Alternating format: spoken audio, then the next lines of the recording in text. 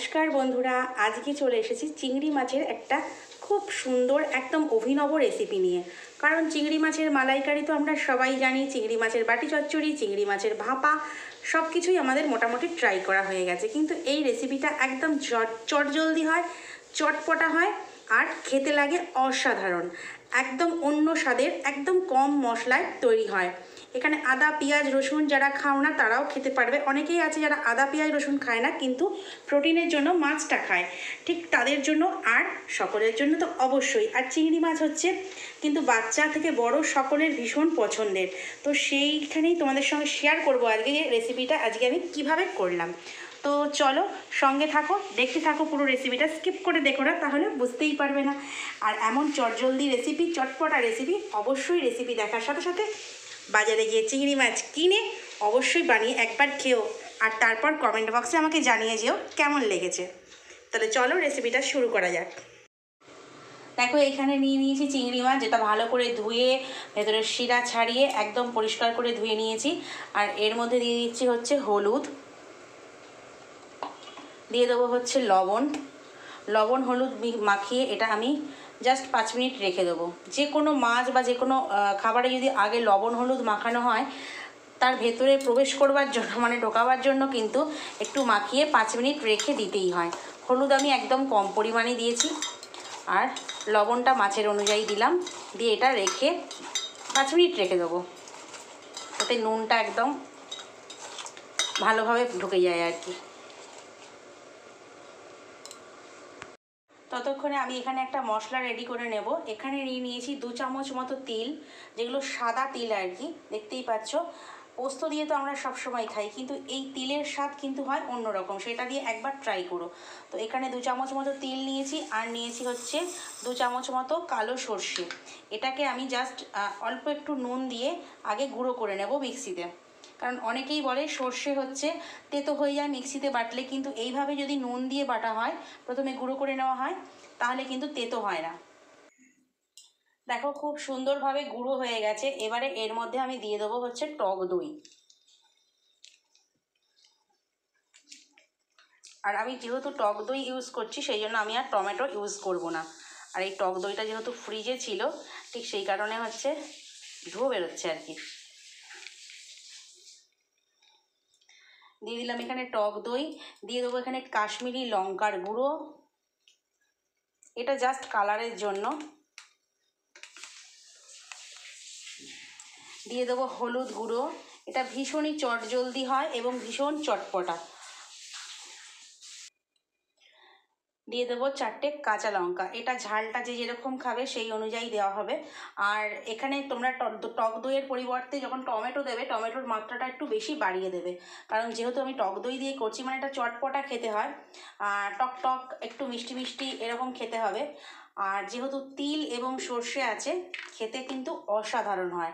এখানে অল্প একটু জল দিয়ে আমি জাস্ট এটা পুরোটাও মিক্সিতে ঘুরিয়ে নেব, পেস্ট তৈরি করে নেব। দেখো, মশলাটা সম্পূর্ণ রেডি হয়ে গেছে। কড়াই বসিয়ে দিয়েছি, আর এখানে দিয়ে দেবো হচ্ছে সর্ষের তেল। তোমরা চাইলে সাদা তেলেই করতে পারো, কিন্তু সর্ষের তেলে খেতে বেশি ভালো হয় আর কি। সর্ষে তিল যেহেতু আছে, সর্ষের তেলেই বেশি ভালো হয়।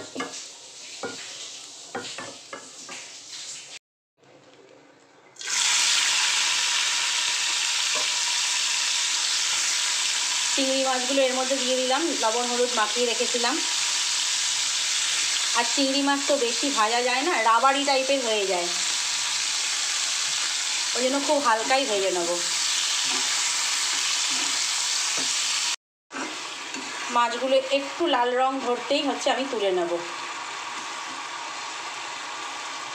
কেন রাবারই হলে তার কোনো না স্বাদ থাকে না। রাবার রাবার মানে লাগে। চিংড়ি মাছের এটাই নিয়ম, বেশি ভাজলেই সেটা রাবারের মতো হয়ে যায়।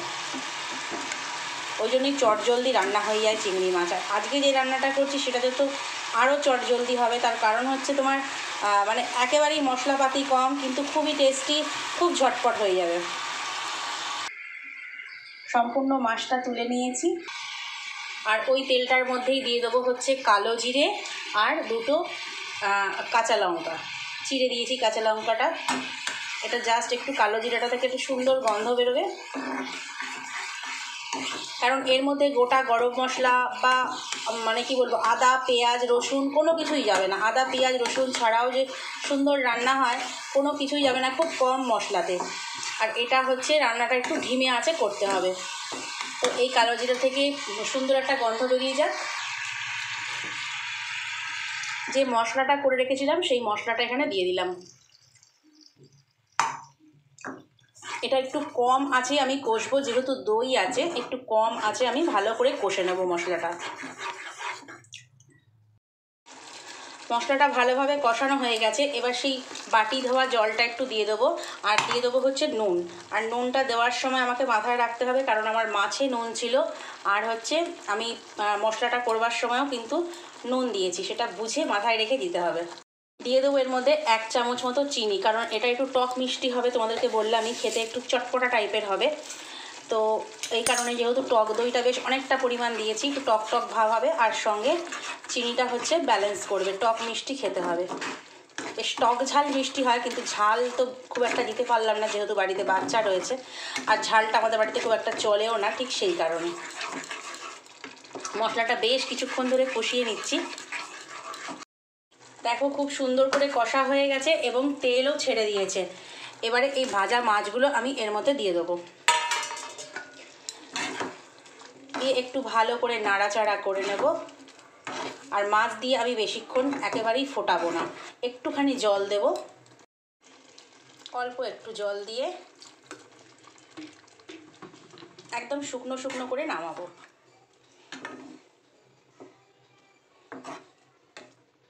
একটু ফুটবে মাছটা, অল্প, বেশিক্ষণ নয়। পাঁচ মিনিট ফোটার পরে ওপর থেকে আমি একটুখানি সর্ষের তেল ছড়িয়ে দেবো। যেহেতু সর্ষে আছে, সর্ষে, তিল, পোস্ত এগুলোর সঙ্গে খুব ভালোভাবে সর্ষের তেলটা যায়। আর এবারে আমি গ্যাস বন্ধ করে দেবো এবং ঢাকা দিয়ে জাস্ট পাঁচ মিনিট রেখে দেবো। দেখো, সম্পূর্ণ পরিবেশনের জন্য রেডি আর রেসিপিটা কেমন লাগল অবশ্যই জানাবে। ভীষণ চটজলদি, চটপটা রেসিপি অবশ্যই একবার ট্রাই করো। কারণ অনেকেই তো চিংড়ি মাছের মালাইকারি, এটা ওটা অনেকভাবেই খেয়েছো, কিন্তু এইভাবে একবার ট্রাই করো, অবশ্যই ভালো লাগবে। আর যদি রেসিপিটা দেখে ভালো লাগে, তাহলে অবশ্যই লাইক করে দিও কমেন্ট করো। আর যারা প্রথমবার দেখলে চ্যানেলটা সাবস্ক্রাইব করে আমার সঙ্গে থেকো। তাহলে চলো, আজকের মতো বিদায় নিচ্ছি। টাটা!